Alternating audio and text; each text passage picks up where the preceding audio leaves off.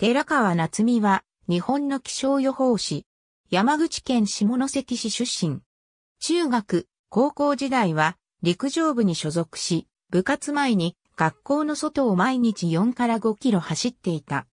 高校卒業後、東京に行けば世界が広がると思い、慶応義塾大学理工学部応用科学科に進む。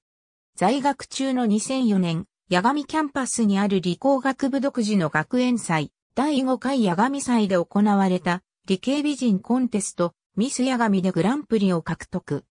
大学卒業後、塾講師などの勤務を経て、NHK 鳥取放送局にて、情報番組、鳥取暮らしの情報便のキャスターとなる。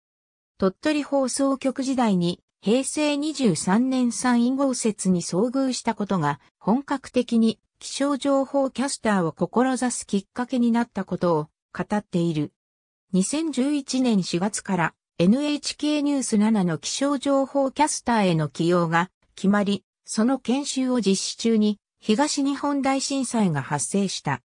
それを受け、被災者に寄り添って伝えたいとの思いを募らせ、気象情報は子供でもわかるようになるべく、わかりやすく伝えようと心がけた。また2014年12月に、徳島県西部の山間部などが豪雪によって一時約700名近くが孤立した際には、その一週間後の週末現地に一人で入り、地元の人から話を聞き実情に触れた。2016年3月に NHK との契約が終了した後、同年4月4日から直撃ライブグッディの気象情報を担当している。